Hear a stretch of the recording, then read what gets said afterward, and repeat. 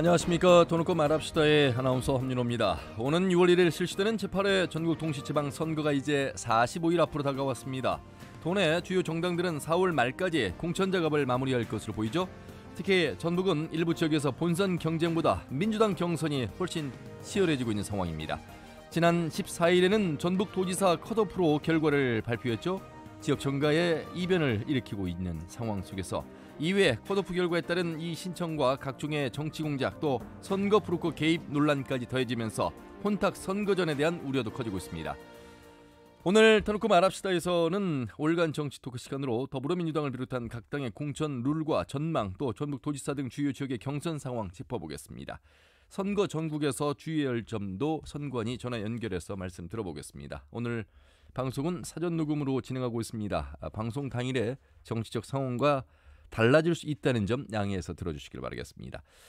자 그리고 유튜브에서 터놓고 말합시다를 검색하시면 실시간 보기와 다시 보기도 가능합니다. 많은 의견과 제보도 해주시길 바라겠습니다. 자 그러면 토론에 들어가기 앞서 도민들은 공천 경쟁이 치열한 지방 선거전을 어떻게 바라보고 계신지 김세표 리포터의 도민 인서트로 함께 들어보시죠.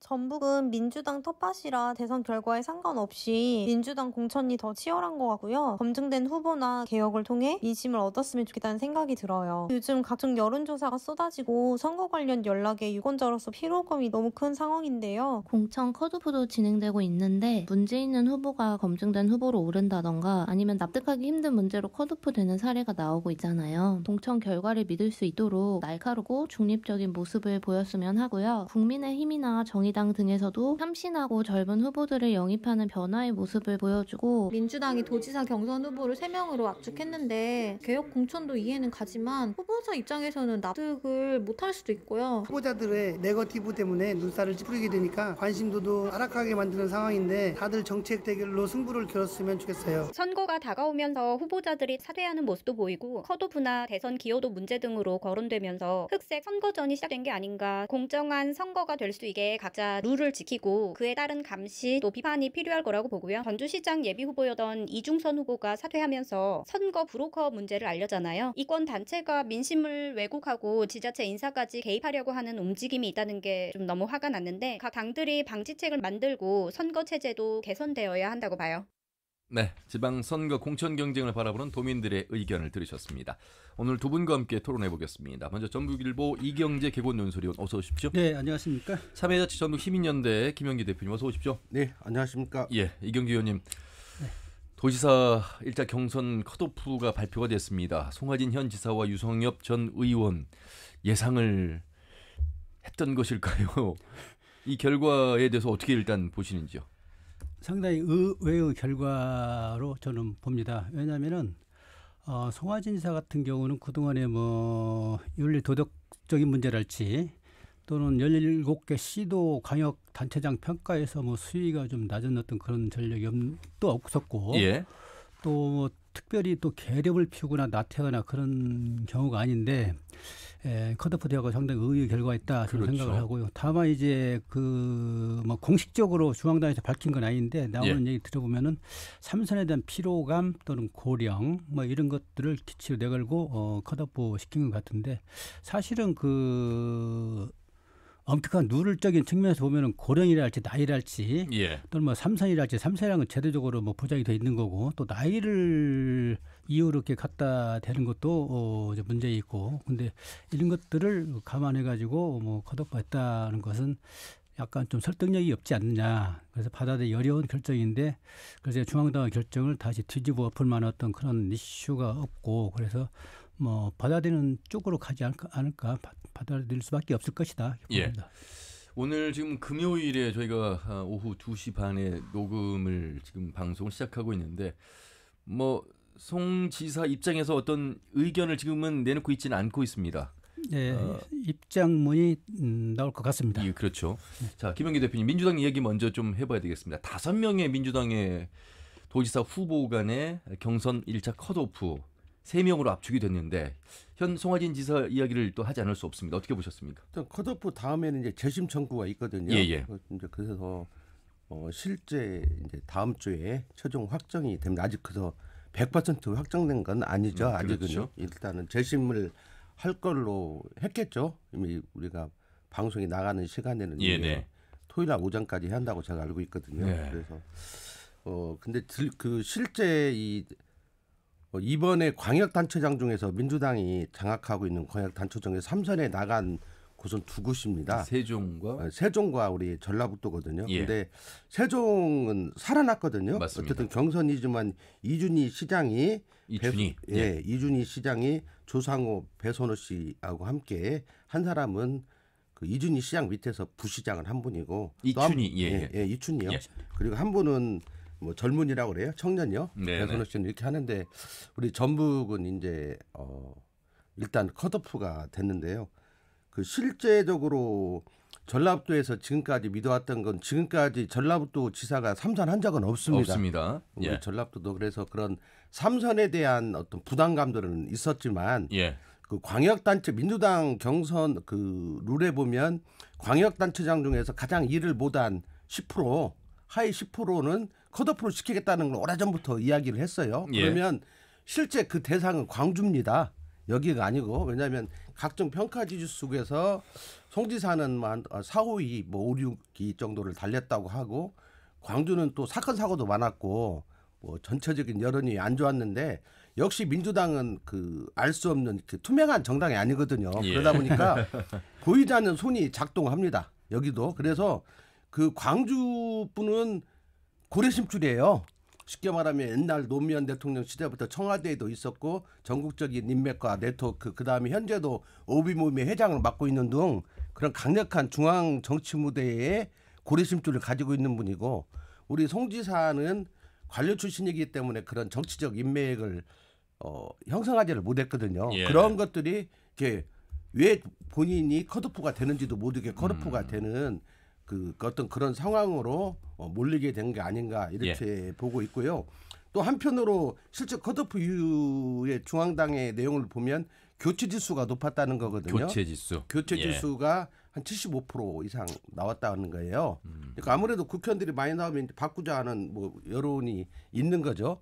그럼에도 불구하고 어떤 뭐그 안에서는 또 여론조사 했던 후 예비 후보 중에서는 여론조사는 이제 수위를 달랬지만 예. 그 폭이 크지가 않았거든요. 20%대에 머물러 있었고 이러다 보니까 그걸 명분으로 어, 교체 지수를 명분으로 예. 어, 컷오프를 어, 진행했다고 보는데 근데 그러다 보니까 뭔가 희생양이 필요하지 않았나 워낙 지금 뭐 서울 경기나 전반적인 공천 과정을 보면 대체 뭔 기준으로 하는지 예. 뭐 불출마하겠다가 출마하는 사람도 냅두고 있잖아요 서울시장 같은 경우는요 지금 뭐 전주 예비시장 후보로 임정엽 어, 또 후보에 관련된 거기도 예. 뭐 이미 민심으로 심판받은 사람 8년 전에도 같은 내용으로 컷오프했는 이번에도 또 했거든요 예. 그런 것들이 많은데 어쨌든 전국적으로 보면 그 이연령 비연령이라고 하는가요? 아, 뭐 이런 것처럼 예. 룰이 없어요. 그래서 힘찬 사람은 살아남고 힘 없으면 왜 죽는가도 모르게 그냥 이렇게 죽는 어떤 그런 것들이 반복되고 있는 과정에. 또 한 명의 어떤 어, 희생양이 아닌가 예. 이렇게 그 보는데 덧- 예, 덧붙여서 그렇습니다. 한마디 더 하면요. 사실은 대선 패배 이후에 에, 뭔가 쇄신 개혁 정책을 추진해야 맞고 근데 그러기 위해서는 지방선거에 도입할 수 있는 개혁 쇄신책이 뭐냐. 예컨대 민주당 정서가 좀 강한 호남 지역 같은 경우는 어떻게 바꾸면은 시민들로부터 주민들로부터 시민들의 눈높이에 맞는 것을 개혁을 할 것인가 이런 것들을 천착해서 예컨대 권리당원 문제가 심각하단 말이죠. 그럼 예. 문제를 어떻게 할 것인지 시민들의 의견을 어떻게 제도에 반영시킬 것인지 이런 문제의 개혁적인 어, 시스템을 통해서 나와야 되는데 이제 그런 것들을 하지 않고 사람으로 무슨 뭔가 보여주려고 그러잖아요. 예. 인적 쇄신으로. 근데 사실은 인적 쇄신도 비리랄지 뭐 성주머니랄지 또는 실적이 낮달지 또는 개- 대선 기여도가 뭐 낮달지 이런 경우는 명분이 있었는데 야, 송하진 지사 같은 경우는 그 어느 군데도 지금 포함이 안 된단 말이죠. 뭐 공직 후보 선출 후보 심사에서 15% 가산점 대상 1급 그러죠. 포상을 받았다는 사실 말씀하신 거죠? 이제 그 본인이 이야기한 것처럼 나는 국회의원직이었기 때문에 나는 국회의원이 한 번 갈까 나는 세 번씩 중앙고시를 다니고 다닌다. 예, 말이야 예. 성실성도 다 인정을 하는 대목인데 결론적으로 말하면 중앙당이 어떤 쇄신 개혁 대상의 희생양이 된 케이스고 예. 또 하나는 가장 그 아픈 약점으로 지목이 되어온 국회 경험이 없는 거. 뭐. 그것이 이번에 반영이 힘을 쓰는 과정에서 반영이 예. 되지 않냐 이렇게 분석을 자 해봅니다. 그러면 이제 전현직 세 명의 후보가 이제 본선을 앞두고 이제 경선을 치르게 됐습니다. 김관영 전 의원, 안호영 그리고 김윤덕 어, 세 사람의 공통점은 이제 재선 의원이라는 점인데 물론 이제 전현직의 차이가 있습니다만 국민의힘 3파전 예상 속에서 경선 기대도 했습니다만 조배숙 전 의원으로 결국 단수 공천이 됐습니다. 국민의힘 이야기도 좀 해보겠습니다. 이렇게 되면 이제 무소속과 정의당이 지금 없는 상황 속에서는 1대1 구도가 지금 만들어진 전북 도지사 선거가 되겠습니다. 김영기 대표님. 그 국민의힘에도 오랫동안 그 오랫동안 국민의힘 당직 활동을 해왔던 사람들이 예. 후보군이 두 번 두 명이 있었는데요. 역시 정치는 기준이 없어요. 거기도 그냥 냉정하게 좀 경쟁력 있는 야당에 오랫동안 민주당에 있던 사람이 오니까 그냥 바로 전략공천을 해서 지금 두 분이 반발을 하고 있죠. 반발을 하고 있는데 한번 뭐 저런 경우는 보니까 이 정당 한 번 정해지면 쉽게 안 바꾸더라고요. 예. 김용호 남원임 칠순창 위원장과 양정우 회장. 예. 두 분은 뭐 지금 오랫동안 도백을 준비했죠. 어려운 조건에서 예. 뭐 당선 가능성도 낮은데 준비해 왔는데 느닷없이 이제 어, 굴러온 돌이 또 박현도를 뽑아내고 또 전략 공천을 해서 일단 후보가 정해졌고요. 예. 그 민주당은 이제 세 분이 이제 김관영, 안호영, 김윤덕 세 분이 경선을 치르는데 처음 도입됐습니다. 이번에 뭐가 있냐면 그 50% 과반이 안 나오면 결선 투표를 결선 하게 돼 투표. 있어요. 예, 그래서 그 세 분이 어, 되면 이제 한 명을 탈락시키고 두 명이 다시 1, 2위가 50%가 안 나오면 결선 투표를 하게 되는데 우리 결선 투표까지 갈 확률이 높지 않은가 이렇게 지금 네.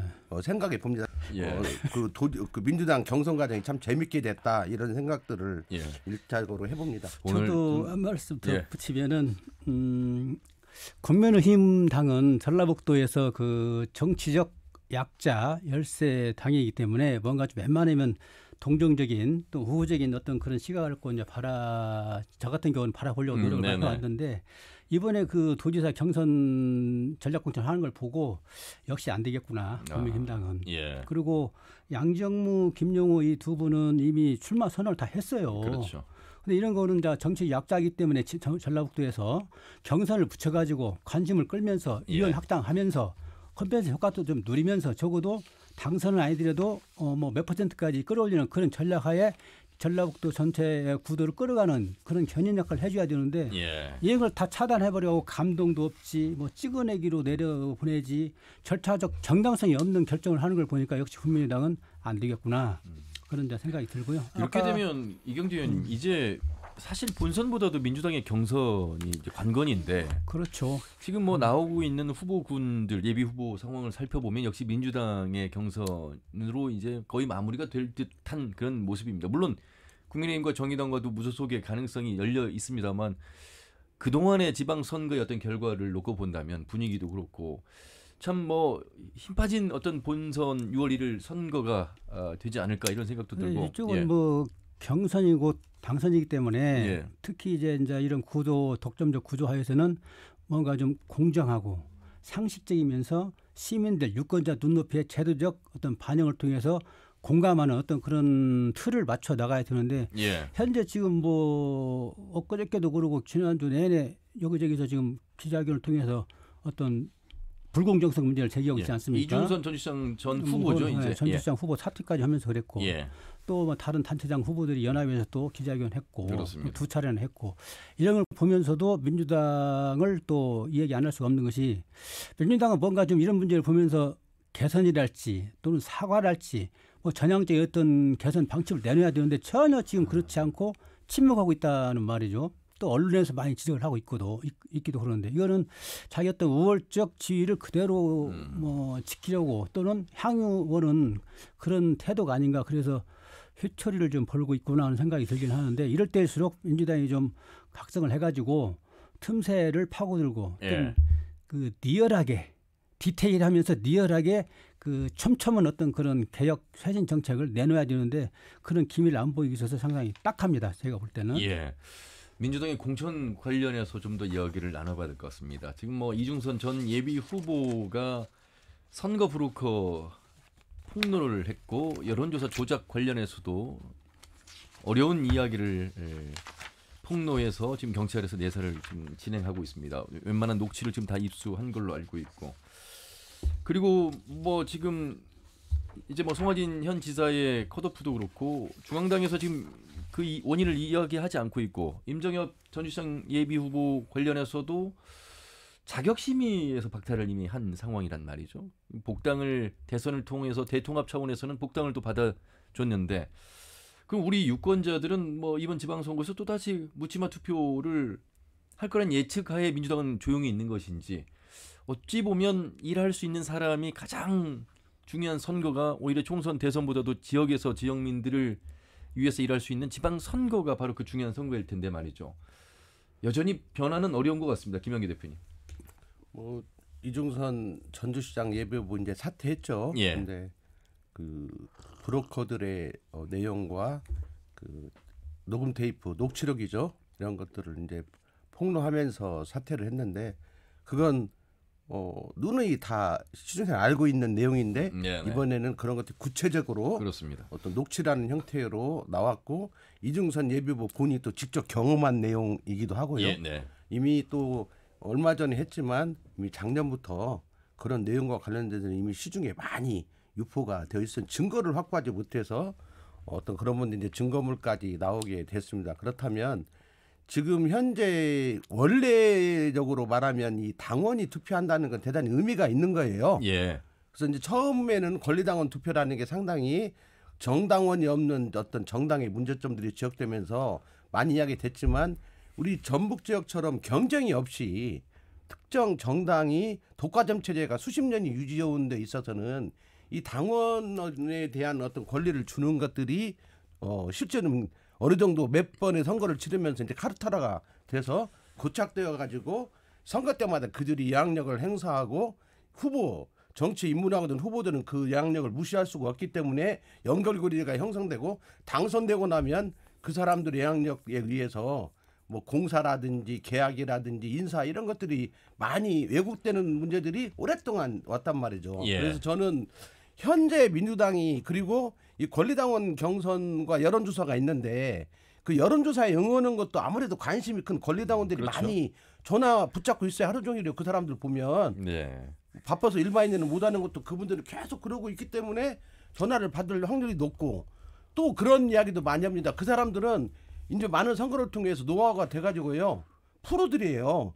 그래서 여론조사 오면은 연령대도 자기 연령대를 말하지 않는데요. 어. 어, 왜냐하면 50대, 60대면 이미 차가지고 끊을 확률이 높기 때문에 받았다 하면 20대, 30대라고 한다는 거예요. 어허. 근데 그 여론조사에서 연령대를 확인할 수가 없거든요. 그런 적극성 가진 유권자분들은 어떤 분이 어, 그러니까 그 권리당을 오랫동안 하면서 그런 네. 카레트를 하다 보니까 그래서 프로라는 거죠. 그래서 프로라는 거예요. 왜냐하면 연령대를 야. 순전하게 40대, 40대가 40대, 50대가 50대 하는 건 그 사람들이 볼 때는 미친 짓이라고. 왜냐하면 이미 찾기 때문에 점수가 응답률에 맞춰져 예. 있고 그래서 응답률 미달은 특히 20대 30대. 저녁 네, 때 네, 한다든지 다음 날 하면 무조건 20대 30대로 한다는 거예요. 그래야 자기가 한 표를 행사해서 음. 과장된 한 표죠. 왜곡된 한 표를 행사할 수 있겠다는 게 그게 돼 있고 이번에 폭로한 그 핸드폰 거주지를 바꿔가지고 전화 한 통화를 바꿀 수 있다고 하잖아요. 바꿔서 서울 사람들이 얼마든지 전주 유권자가 되어가지고 그, 그 여론조사에. 여론조사에 참여할 수 있는 자격을 자격을 부여받는 주는 거잖아요. 예, 그래서 서울에서도 만약에 천 명 이쪽으로 와서 어, 만약에 어느 선곡에 들어가면 핸드폰 이렇게 할 때 보통 여론조사를 하면 핸드폰 여론조사는 3만 점수를 이렇게 산다고 그래요. 예. 여론조사 기관에 3만 점수를 통신사 세 군데에서 비율이 있잖아요. 그 별도로 사서 하는데 3만 점수에서 이제 그 지역을 하면 천, 천 개 정도 하는 거잖아요. 그러니까 그런 확률을 높이는 작업들을 하고 전화 대기를 통해서 또 확률을 높이고 그다음에 신분을 속여서 5, 60대가 그냥 20대, 30대라고 해서 속여서 또 하고 이런 과정을 통해서 왜곡이 되고 그렇기 때문에 현재 이 방식으로 하면 또 월, 월 천 원씩 6개월이라고 하는 것이 이제 또 함정이잖아요. 예. 권리당원 자격이. 예, 예. 권리당원 뭐냐면 차라리 그냥 월 2만 원씩 6개월이 아니 월 만 원씩 1년 하면은 못 하겠지만 천 원은 큰 돈이 아니까 전부 다 대납한단 말이죠. 뭐 1년 정도 해봤자 1년이면 12,000원밖에 안 되니까 대납을 할 수 있게 되고 그렇게 해서 모아가지고 딱 진영을 짜는데 신인은 그걸 할 수가 없습니다. 그런 것도 하려면 쉽게 말하면 1, 2년 동안 그 현장을 누비지 않으면 어떻게 당원을 모집하겠어요. 그러니까 이 신인들은 그런 걸 못해요. 그러니까 꾼들이 전부 다 그런 거 해가지고 정치를 왜곡시키는 게 돼서 저는 민주당 그러니까 신인이 접근이 안 됩니다. 여성도 접근이 안 돼요. 예. 그, 뭐 소외계층 대표자들은 더더욱이 접근이 안 되기 때문에 이 구조에서는 한 번 한 사람도 그, 밥- 그 밥에 그 나물 그들만의 리그만 할 수밖에 없어요. 저 이번에 민주당에 공천 신청한 사람들 보고 역시나 마찬가지구나. 신인이 거의 없습니다. 세 번 떨어진 사람, 네 번 떨어진 사람, 뭐 현재 하고 있는 사람들이 그냥 그들끼리 안에서 충성도 경쟁하는 거지. 새로운 사람들이 내가 가서 한번 유권자가 심판을 받겠다고 할 수가 없는 구조단 말이죠. 그래서 이게 총체적으로 민주당이 낡은 정당, 시대에 뒤떨어진 정당으로 가게 만든 원인이니까 이 제도를 바꾸지 못하면 저는 민주당의 앞날은 없다. 이렇게 맞습니다. 봅니다. 전적으로 동의하고요. 또 청취자들이 아 이중선이라고 후보 뭘 이야기하길래 저렇게 네. 열심히 이야기를 하지 해서 그 이중선 후보가 폭로한 내용을 잠깐 설명을 예, 어, 전 드리면, 예비 후보. 예, 예. 예, 예. 그 이중선 후보는 정치 신이면서 마흔 뭐 다섯 달 정도 되는 그 아주 만 45세로 딱 예. 청년이랍니다. 예. 근데 이제 발표 폭로를 한 내용은 선거 브로커가 작년 5월부터 어떤 제의를 하면서 계속 시달림을 받아왔다 그런 내용이고 제의한 내용은 적어도 여론조사를 할지 권리당원의 어떤 그런 힘을 발휘하려면은 한 달에 한 50만 원씩 주는 200명 정도를 모아야 영향력을 행사할 수 있다. 그 돈을 후보가 내야 된다. 후보가 영향력이 없으면은 내지 못하면은 나중에 다 되었을 때 당선이 되었을 때 인사권 또는 입찰이랄지 계약 업무의 일부를 달라 이런 내용을 계속 네. 수개월 동안 해왔다는 얘기인데 이거를 기자회견을 통해서 폭로한 내용입니다. 예, 네. 그래 이제 이 인구 2만 3만 정도 되는 자치단체는 정말로 절대적인 영향력을 행사하는. 그 표본이고요.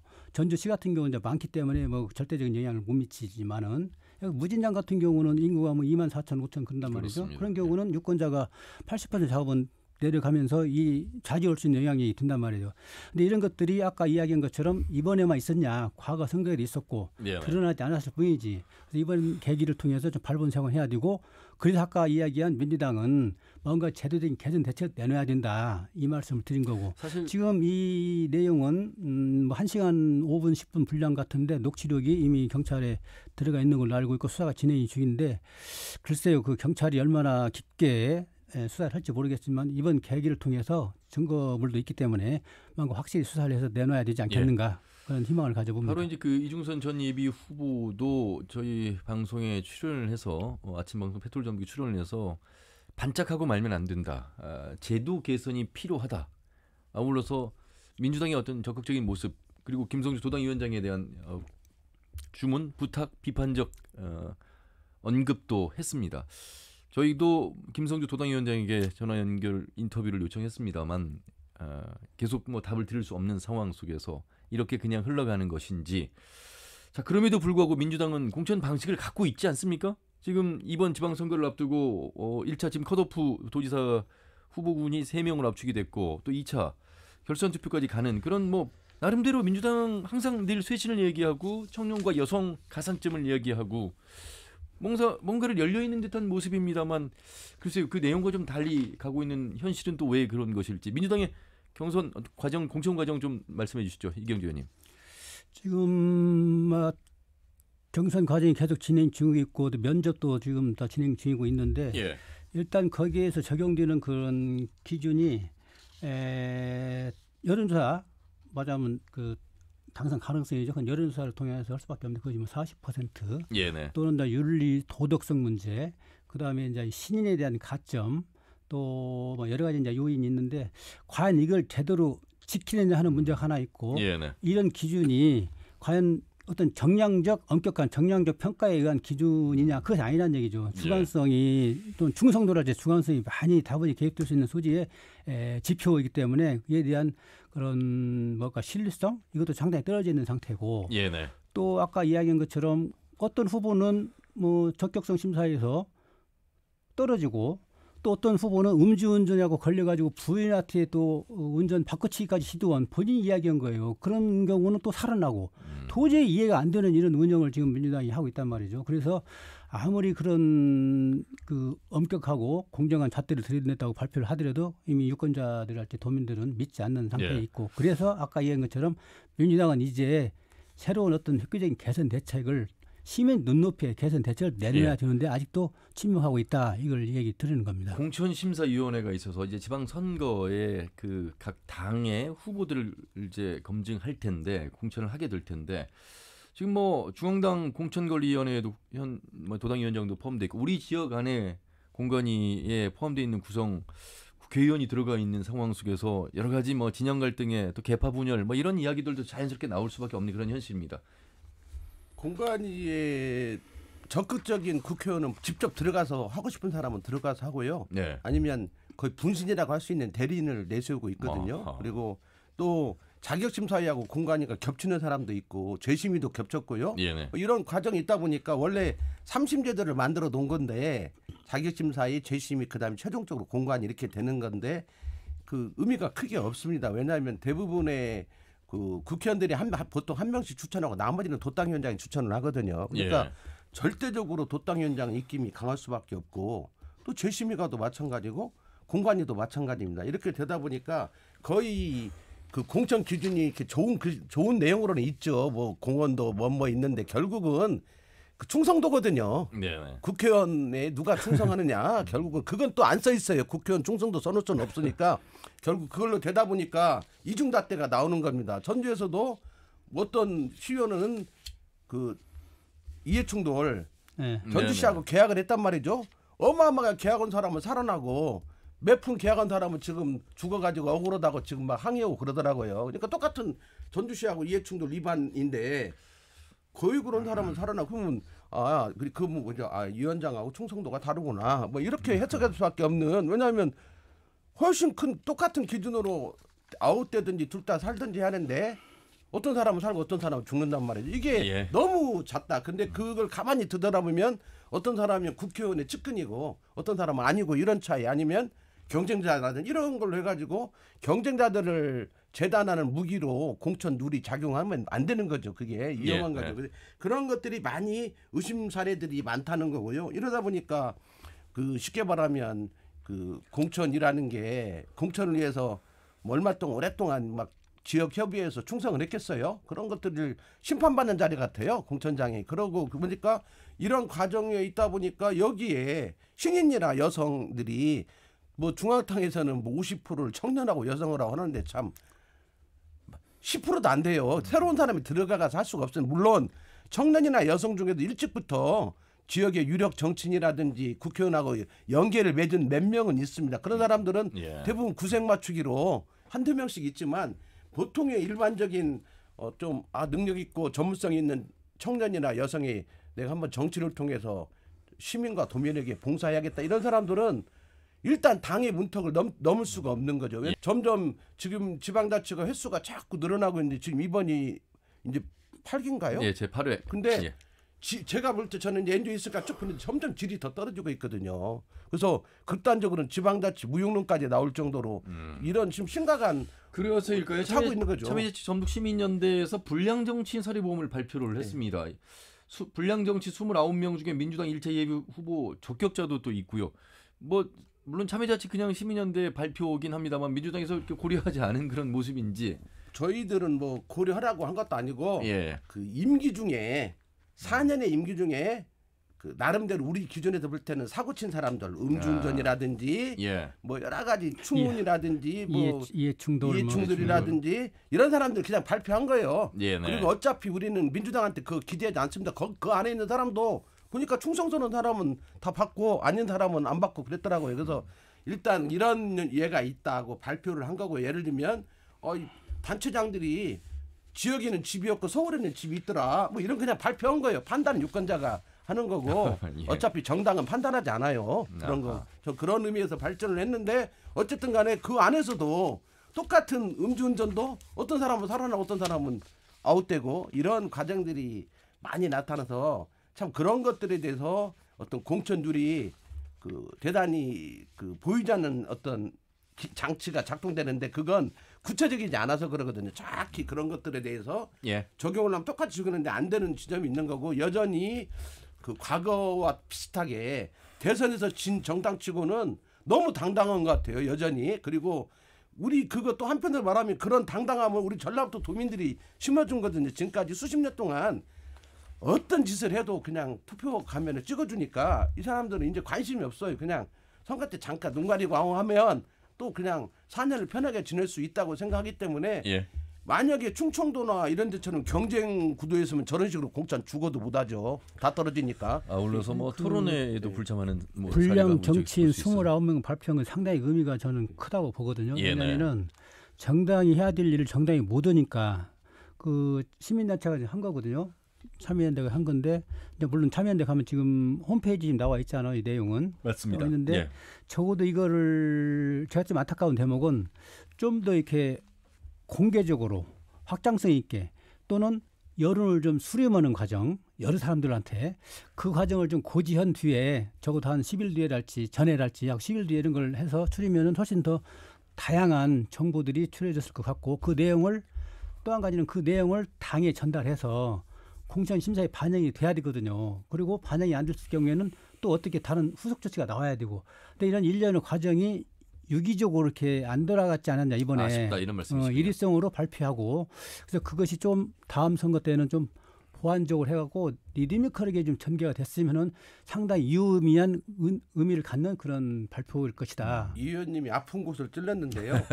어, 그 실제 저 저도 그 안에 몸담고 있는 사람인데 원래 이 정도 내용들을 좀 더 하려면 작년 연말 정도 안 되는 발표가 됐어야 하거든요. 음, 제가 아. 볼 때는 그래서 그리고 그 발표되는 과정 속에 우리 전라도 전체를 모아나가는 한 단체 힘으로는 좀 부족하잖아요. 뭐 익산 군산까지는 한다고도 농촌 쪽에서 어떤 일이 벌어졌는지 이런 걸 제대로 언론에 보도되지 않은 건알 수가 없고 이러면 예. 충분히 정보도 소집하고 또 그걸 평가하는 또 객관적인 집단도 만들고 이렇게 해서 이제 발표해야 맞죠. 그 이제 과거에 낙선 낙천 운동 음, 그렇게. 했는데 예. 어 그런 식의 내용으로 담아가면 참 좋은 건데 어, 요즘 단체가 코로나 시대를 맞이해서 어, 그런 것들을 충분히 준비하지 못했기 때문에 예. 현실 수준에서 발표된 게 아닌가 이렇게 생각합니다. 알겠습니다. 자, 뭐 열기를 좀 식히고요. 어, 이제는 선거를 앞두고 주의해야 될 점들이 많습니다. 전북 선관위 홍보과의 강인철 팀장을 연결해서 말씀 들어보도록 하겠습니다. 팀장님 수고 많으십니다. 네, 안녕하세요. 자, 이제 제8회 전국 동시지방 선거가 40여일 남았습니다. 아, 일정 한 번 더 정리 부탁드립니다. 네.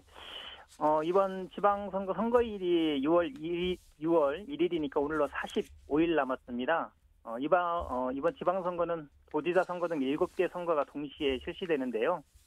후보자 등록은 다음 달 12일과 13일 이틀간 진행됩니다. 선거운동은 6일 후인 19일부터 31일까지 13일 동안 이루어집니다. 도지사, 시장군수, 비례도의원 선거의 경우에는 어, 법정 후보자 토론회도 한 차례씩 개최됩니다. 사전투표는 5월 27일과 28일 금요일과 토요일에 본투표는 6월 1일 수요일에 있습니다. 예. 선거가 끝난 후에는 선거 때 사용한 선거 비용을 정당과 후보자에게 7월 31일까지 보전을 해주게 됩니다. 이번 선거에서 당선된 자체장과 지방 의원의 임기는 7월 1일부터 개시되고요. 그렇죠. 이번 지방선거는 선거 종류도 많고 후보자도 많기 때문에 유권자분들의 보다 많은 관심이 필요해 보입니다. 예. 후보자가 많기 때문에 얼마나 많을까? 그 현황도 집계가 됐습니다. 아, 현재까지 각 지역 경쟁률 짚어주시죠. 네, 현재까지 도지사 4명, 교육감 5명, 시장 군수 64명, 도의원 92명, 시군의원 344명으로 총 509명이 예비 후보자로 등록해서 활동하고 있습니다. 어, 현재 경쟁률은 시장 군수는 4.4대 1, 도의원 2.6대 1, 시군 의원 2대 1인데요. 각 당의 당내 경선 등을 통해서 어, 후보자가 확정되면 경쟁률은 보다 낮아질 것으로 보이고요. 예.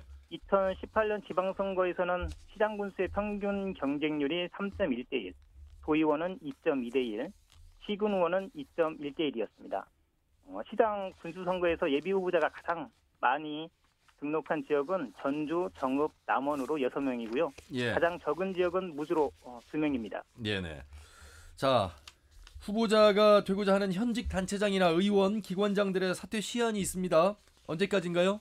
네, 그렇습니다. 어, 공무원 등 일정한 신분을 음, 가진 사람이 공직선거에 출마하기 위해서는 선거일 전 90일 전에 그 직을 그만두어야 하는데요.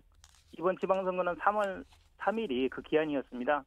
그런데 국회의원이 단체장 선거에 출마하는 경우나 현직 지방의원이 소속 자치단체가 아닌 다른 자치단체의 장이나 의원 선거에 출마하는 경우에는 선거일 전 30일인 5월 2일까지 사퇴를 해야 합니다. 예. 어, 다만 현직 지방의원이나 단체장이 당의 단, 어, 자치단체장이나 의원 선거에 입후보하는 경우에는 그 직을 가지고 출마가 가능한데요. 예. 예를 들면 현직 도의원이 도지사 선거에 출마하는 경우에는 사퇴하지 않아도 되거든요. 네. 하지만 시장이나 군수 선거에 출마하는 경우에는 선거일 전 30일까지 사퇴를 해야 합니다. 예. 자, 올려서 선거일 60일 전, 그러니까 지난 4월 2일부터는 정치 행사, 또 후보자 명의 여론조사, 선거 영향에 미치는 행위는 제한이 지금 되고 있는 거죠? 네, 그렇습니다. 네, 선거법에서는 공정한 선거를 위해서 선거가 가까워질수록 많은 부분들을 제한하고 있는데요. 단체장이나 교육감, 소속 공무원은 선거일 전 60일부터 어, 선거일까지 체육 행사나 경로 행사, 민원 상담 등 각종 행사를 개최하거나 소원할 수가 없습니다. 다만 법령에 의한 행사나 특정일, 특정 시기에 개최해야 하는 행사, 그리고 긴급한 민원 해결 등을 위한 행위는 제한 없이 가능합니다. 예. 어, 예비 후보자나 후보자로 등록하지 않은 어, 단체장의 경우에는 정당의 정강 정책 등을 홍보하는 행위나 정당이 개최하는 정치 행사에 참석할 수 없고요. 선거 대책기구나 선거 사무소도 방문할 수 없습니다. 선거 여론조사 관련해서도 제한되는 행위가 좀 있는데요. 예. 투표 용지와 유사한 모형을 사용하거나 후보자 또는 정당의 명의로 선거 여론조사를 할 수 없고요. 서론, 어, 여론조사를 어, 실시하기 위해서는 사전에 신고를 해야 하고 또 결과를 공표 보도하기 전에는 그 결과를 여론조사 심의위원회 홈페이지에 등록을 해야 합니다. 예. 또 관련해서 선거 여론조사 기준도 준수를 해야 합니다. 예. 그리고 이번부터 예비 후보자나 후보자들도 후원회를 둘 수 있게 됐습니다. 네, 그렇습니다. 지난 지방선거까지는 도지사와 시장 군수 선거의 후보자만 후원회를 들 수 있었고 예비 후보자는 후원회를 들 수 없었거든요. 예.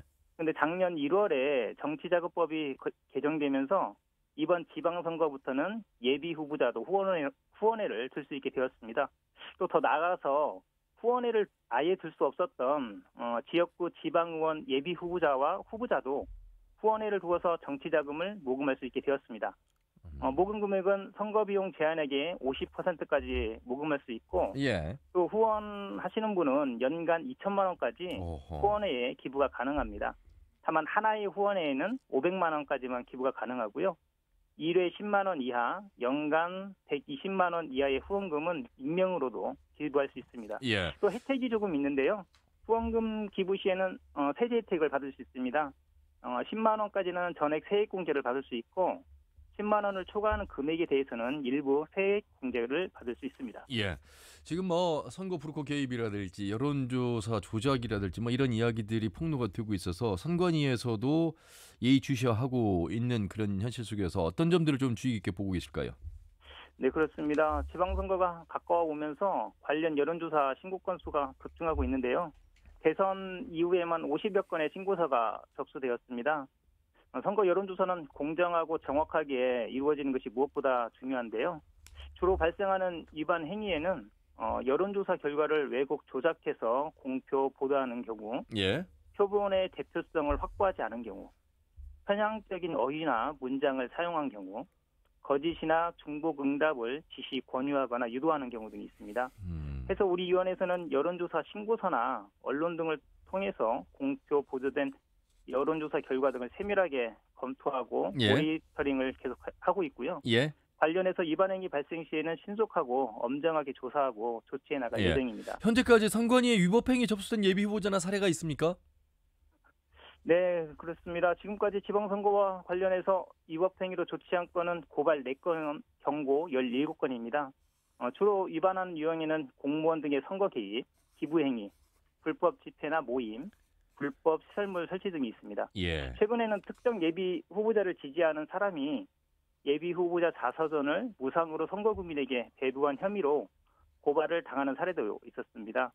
어, 지방선거에서는 적은 표차로 당락이 결정되는 경우가 많아가지고 매수 및 기부 행위의 유혹에 빠질 우려가 좀 높은데요. 예. 입후보 예정자 등은 선거 구민 또는 선거 구민의 모임이나 행사 등에 금전이나 물품 등을 제공, 어, 제공할 수 없는데요.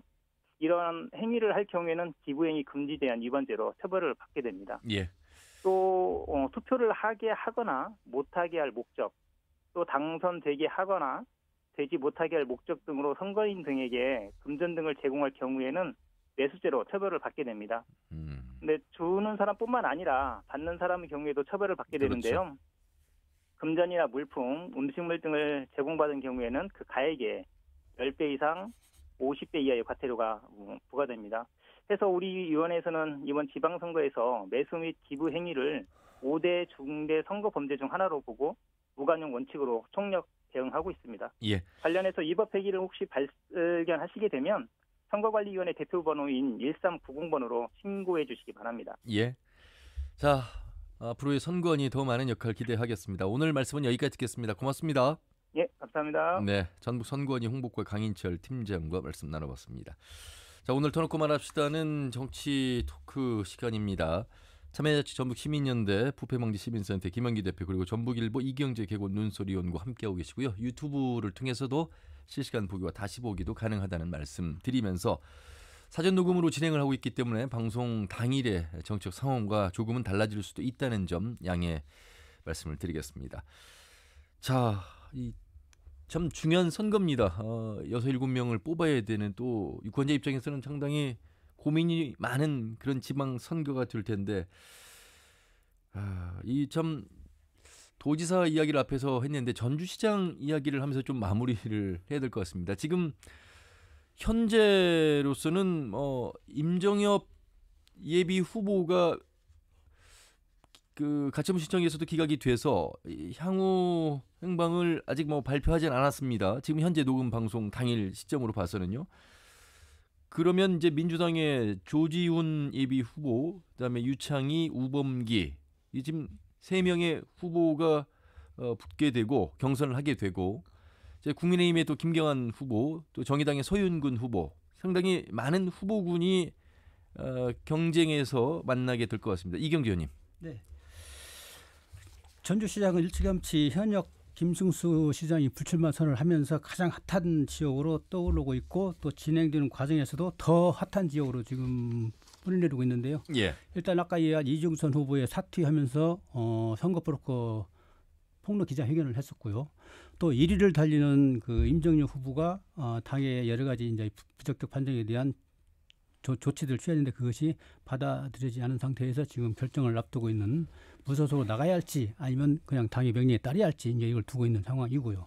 또 국민의힘 당에서도 어, 김경환 후보가 단수로 지금 나와 있고요. 예. 또 정의당에서 서인근 후보가 나와 있는데 일단 민주당 내에 관심을 쫓아온다면은 어, 조지현, 우범기, 유창희 뭐 우범기, 유창희, 조지훈 이 세 후보가 각격전을 벌이고 있고 또 여론조사 그 동향을 흐름을 보면은 뭐 큰 차이가 나지 않고 어떤 박스권 내에서 거의 오차범위 안팎 예, 유지하고 있기 때문에 더 어, 관심을 이제 쏟고 있는데 예. 이 전주시장 선거에서 지금 관심의 초점은 1위를 달리던 임정혁 후보가 중앙당이랄지 지- 도당의 어떤 결정에 반발해가지고 어, 무소속 후보로 나가느냐 예. 아니면 그 결정을 받아들여가지고 어, 그대로 뭐 수용을 하느냐 또는 수용을 했을 때 어떤 입장을 또 취할지 이 세 가지 경우 수를 놓고 지금 그렇습니다. 여러 가지 다양한 해석, 해석들이 나오고 있는데 일단 여론의 흐름 뭐 시민들의 뜻에 따라 한다고 했는데 그것은 뭐 너무나 아웃라인 너무나 큰 거고 아마 내적인 어떤 여론의 흐름을 면밀히 추적 조사한 끝에 결정을 내릴 걸로 지금 보여지고 있고 예. 캠프 내에서도 어, 받아들여야 된다, 무소속으로 계속 가야 된다. 또 전주시가 처한 여러 가지 상황을 놓고 보면은 임정력 같은 그런 추진력, 결단력을 요구하는 세력들이 많다. 그러면서 반반이 나뉘어져 있다고 저도 이제 들었거든요. 예. 그래서 임정력 본인도 결정하기 어렵고 또 지난 연말에 복당을 해가지고 이런 일로 해서 또 다시 탈당을 해야 되느냐 이것이 가장 큰 아, 그렇겠네요. 고민거리인 것 같은데 예. 일단 아마 이 시민들의 뜻에 맡긴 결정을 하겠다는 것이 현재 예. 예, 입장인 것 같습니다. 이미 이제 민선 6기에서 현 김승수 시장과의 지방 선거에서 무소속 때 아, 이 민주당의 후- 후보 경쟁이 있었고 어, 이제 낙마를 했습니다. 이게 참 민주당의 당직을 가지고 나올 때 여론조사와 민주당을 떼고 어, 무소속으로 여론조사를 했을 때 지금 이게 아마 내적인 고민이 바로 그런 부분 아니겠습니까? 그렇죠. 그 반대 수용을 해야 된다는 측은 민주당 후보 임정엽 했을 때 그 나타나는 지지율이지 예. 무소속 임정엽 했을 때는 다른 경우가 나올 것이다. 음. 이런 이제 논리를 펴고 있고 또 그 반대 측의 논리를 펴는 쪽은 어차피 전주 시민들이 그 택한 그 지지율은 당원 조사가 아니거든 여론 조사는 예. 전주 시민을 대상으로 한 거기 때문에 그 지지율은 지금 쭉 변함이 거의 없었어요. 아하. 또 부적격 판정을 이후에 조사에서도 또 1위로 나온 케이스가 있고 그래서 이거는 시민의 뜻이다. 예. 그래서 시민들이 갈구하는 그런 것들은 아까 이야기한 결단력, 추진력 전주시가 뭔가 어지럽게 늘려놓고 하나도 추스르지 못하지 않느냐 지금 시민들의 손에 쥐어진 것이 없다 이런 음. 어떤 정서적인 측면이 강하게 반영이 돼가지고 예. 나와야 된다 이런 측을 주장하고 있고 알겠습니다. 그래서 고, 그 사이에서 고민을 하고 있는데 예. 제가 그 입장이라 하더라도 고민이 깊어질 수밖에 없을 것 자, 같습니다. 이경기 의원께서 말씀하신 여론조사는 선거관리위원회 홈페이지를 통해서 확인하실 수 있다는 말씀을 드리도록 하겠습니다. 전주시장 선거 중요합니다. 결국 지금 뭐 송화진 지사가 컷오프돼서 전주 또 전북 도지사 선거가 지금 현역이 없는 무주공산 속에서 새로운 인물을 뽑아야 되는 그런 중요한 선거가 됐습니다. 어, 아직까지 지방자치 실시하고 결과적으로 그 전주시장과 전라북도 지사는 삼선은 없는 그렇죠. 음, 것이고 그런 특징은 아무래도 이제 전주가 도청 소재지고 어떤 도시적 성격을 갖고 있는 곳이다 보니까 또 인구도 어쨌든 간에 여기서는 많고 뭐 농촌 지역이나 이런 2, 3만 뭐 4, 5만 10만 이하 대부분이 전라북도는 그런 데만 많고 그러다 보니까 예. 실제적으로 그 어떤 변화 요구 이런 것들은 있는 것 같습니다. 그래서 네네. 그 저는 어, 여론조사를 지금 다 널려 이렇게 여러 명이 예비후보까지 다 포함해서 하는 여론조사고 막상 민주당 공천자가 정해지면 아하. 또 나머지 여론조사가 다 흡수되거든요. 그러면 또 그 보통의 전라북도에서 민주당 지지율이라는 게 있습니다. 한 3, 40%는 여론조사 같은 거 관심도 없지만 투표장 가서 민주당을 딱 찍고 나오는 사람이 우리가 보통 예상할 때 3, 40% 있다고 하거든요. 그런 예. 걸 계산하면 도시 지역에서 그 무소속 후보가 당선되는 건 쉬운 게 아니다. 익산에 한 번 있었죠. 11번인가 뭐 선거 나오신 분이 박경철 예. 전 시장입니다. 예. 예, 그 있었죠. 그런데 그건 진짜 30년에 한 번 나온 거고 그런 것들을 어, 기대하는 건 좀 만만치가 않다. 그건 진짜 우리가 말하는 운칠 기삼이라고 운이 진짜 과- 대운이 있지 않으면 예. 아무리 능력이 좋아도 현재 우리 전라도 특히 전주시 구도에서 공천을 받지 않고 어떤 무소속 후보가 예. 지난번 8년 전에는 30대 후- 후반 득표를 얻었죠. 무소속으로 나와서요. 그러니까 지금 민선 7기에서 고창의 유기상 군수, 임실의 신민 군수, 무주의 황인웅 군수가 무소속으로 당선이 됐습니다. 물론 신민 군수는 재선에 성공을 한 상황이고, 그러니까 무소속의 단체장이 지금 세 명이 있다는 말씀을 드린 겁니다. 그러니까 농촌 지역에서는 뭐그 얼마 옛날에도 보면은 다른 정당 민주당 구 민주당 네. 분들도 많았고 뭐 반반 한 적도 있잖아요 열린민주당하고요. 근데 어, 전주라고 하는 어떤 특수한 점이 있어서 아마 임정엽 본인도 고민이 많을 겁니다. 네. 네, 그리고 뭐, 뭐 저야 뭐 뭐라 하라고 말을 이치는 아니니까 뭐 그건 별로 이야기하지 않겠는데 고민이 많고 그런 그 시, 지난번 선거에서도 또 어, 한 분이 또 공천 과정에 이런 거 하다가 중간에 사퇴하고 무소속으로 나온 적 있잖아요. 예. 전주시장에. 전주을. 예. 예. 아니죠. 그 아, 전주시장이요? 예, 네. 예. 지금 도청에 가 계신 분요. 근데 있는데 이현웅, 이현웅 예, 후보. 예. 근데 그런 데서 보듯이 만만한 게 아니라는 거고 또 그런 아직까지도 그게 또 문제는 전라도 전체적으로도 봐야 하는데요. 예를 들면 도지사도 유력한 경쟁자가 무소속으로 나와 있고 그다음에 뭐 예를 들면 그 시군에서도 단체장도 무소속이 많고 예. 그다음에 막 도의원에도 무소속이 많고 시군에도 무소속이 많아 가지고 무소속들이 어떤 세력을 형성하고 있으면서 변화를 이야기한다면 가능성이 좀 높아 가겠죠. 근데 예. 그런 게 아니고 지금 보면 거의 무소속이 없거든요. 작아요. 민선 전라도에. 6기에서는 네. 여섯 곳이 무소속으로 당선이 됐습니다. 그러니까 사실 지방선거에서는 일할 수 있는 능력을 보고 투표하는 경우도 어, 있었다. 결과적으로. 네. 예. 하지만 뭐 민주당의 벽이 항상 높은 건 현실이었고. 이경기 의원님. 네. 그 임정엽 전 완주군수와 이제 경우와 관련해서 한 가지 더 플러스해서 이야기를 한다면은 그 이번에 당의 결정을 수용을 하고 하되 다음을 이제 기약을 하자는 측인데 다음을 기약한다는 것이 전주 일 얘기가 나왔으니까 전주 울 지역의 총선 그에 나가면 어떠냐. 음, 내년에 뭐 혹시 또 대법원 어, 판결 그래- 내지는 뭐, 그리고 예. 그러면서 이제 이 조직이 너무 이제 조직이 활발히 과정이 돼 있기 때문에 그 조직을 어, 전주시장 정말 명분 있게 될 사람을 이렇게 도와주고 예. 그리고 어차피 전주시장이 이제 관리 체제가 들어가지 않습니까? 되면은 그럴 때 전주 우호적인 어떤 환경을 조성하면서 전주 을 지역을 한번 봐야 된다. 뭐 그런 측의 이제 제안도 하는 측이 있는데 역시 뭐 고민은 또 마찬가지 그것도 뭐 다내 것이 되려는 법도 없고 어, 그렇습니다. 지금 뭐또 시- 전주를 지금 생각하고 있는 후보군이 상당히 많기 때문에 그리고 일일이 다 말씀드리지 또 않겠습니다만. 이번 일사 부절이 어긋나게 컷오프를 했잖아요. 8년 전에 한 것 갖고 또 했잖아요. 근데 그 보궐선거 때는 하, 아직 하지 말라는 법 있나요? 즉 민주당이 어떤 그렇죠. 투명하고 예측 가능하지 않기 때문에 또 어떤 유탄에 맞아가지고 될지 모르기 때문에 고민을 심각하게 하면서 뭐 좋죠. 저는 무소속이 어떤 바람을 일으켜서 이런 불합리한 공천을 극복하고 당선되는 모습을 보이면 우리 전라도 정치에는 큰 발전이라고 봅니다. 예. 근데 과연 이번이 그런 때인가는 또 다른 문제죠. 듭니다. 유권자 여러분의 마음은 어디로 향하고 계실지요? 어, 정말 사람을 보고 계시는지 아니면 사람 앞에 붙은 수식어 당을 보고 계시는 건지 둘 다 보고 계시는 건지 그런 의미에서 저희 뭐 터놓고 말합시다 이 정치 토크 시간은 상당히 많은 애청자분들에게 또 뭐 청취자분들에게는 음, 도움을 충분히 드리고 있다. 아, 두 패널 분 우리 이경재 의원과 김영기 대표님을 통해서 저는 그런 말씀을 드리면서 마무리 말씀을 유권자 입장 예예 이경재 네, 마무리 발언으로 네, 하겠습니다. 네, 어, 전주시는 전라북도의 수도고 상당히 규모가 큰 도시란 말이죠. 그래서 전주시는 도시답게 수도권답게 수도답게 14개 시군을 좀 끌어가는 leading 기능을 해야 된다고 저는 생각을 해요. 예. 그리고 전라북도는 어떤 틀만 전라북도지 실제 정책 집행하고 하는 것들은 다 시군이 하지 않습니까? 그래서 전, 전주시가 leading하는 기능을 좀 제대로 찾았으면 좋겠고요. 예. 또 하나 덧, 덧붙여서 뭔가 좀 창의적이고 독창적인 거를 도입해서 끌고 가는 그런 샘플 지역도 전주시가 해야 된다고 생- 생각을 합니다. 그런 기능 역할을 할 수 있는 사람을 우리 시민들이 뽑아야 되지 않을까. 예. 마, 예, 김영기 대표님도 마무리 예, 정리해 주시죠.